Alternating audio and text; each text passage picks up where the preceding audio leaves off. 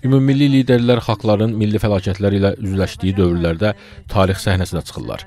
1993-cü il iyun ayının 15-də xalqın təkidli tələbi ilə Heydər Əliyevin siyasi və dövlət rəhbərliyinə qayıtması parçalanmaq və məhv olmaq təhlükəsi ilə üz-üzə qalan Azərbaycanı uçurumun bir addımlığından geri qaytardı. Bunu Milli Məclisin sədri Sahibə Qafarova parlamentin plenar iclasında dedi. Onun sözlərinə görə Heydər Əliyevin siyasi iradəsi, qətiyyəti, zamanın çağırışlarına yaradıcı münasibət bildirmək və düzgün qərarlar qəbul etmək qabiliyyəti sayəsində xalqımız müstəqil dövlətini qurmaq, qorumaq və yaşatmaq üçün tarixin verdiyi imkanı reallaşdıra bildi.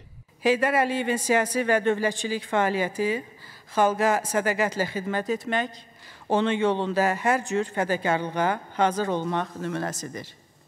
Ümummilli liderimizin 30 ildən artıq dövrdə Azərbaycanın rəhbəri kimi fəaliyyətini nəzərə alaraq, əminliklə söyləmək olar ki, müasir Azərbaycan Respublikası Heydər Əliyev dühasının məhsuludur. Hörmətli həmkarlar, Ulu Öndərin başladığı qurtuluş və quruculuq missiyası bugün eyni əzm və iradə ilə davam etdirilir. Möhtərəm Prezidentimiz Müzəffər Əlibaş komandan İlham Əliyevin həyata keçirdiyi uzaq görən daxili və xarici siyasət Azərbaycanı zirvələrə yüksətmişdir.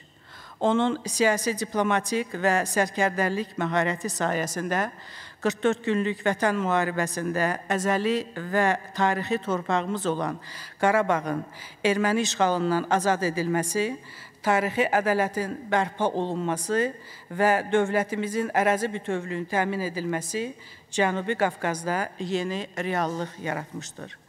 Və bugün Azərbaycan dünyanın geniş bir bölgəsində söz sahibi olan qüdrətli bir dövlətdir.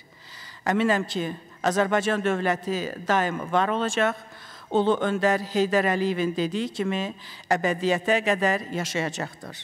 Milli Qurtuluş Günü münasibəti ilə hörmətli həmkarlar, mən sizi və bütün xalqımızı səmimi qəlbdən təbrik edirəm.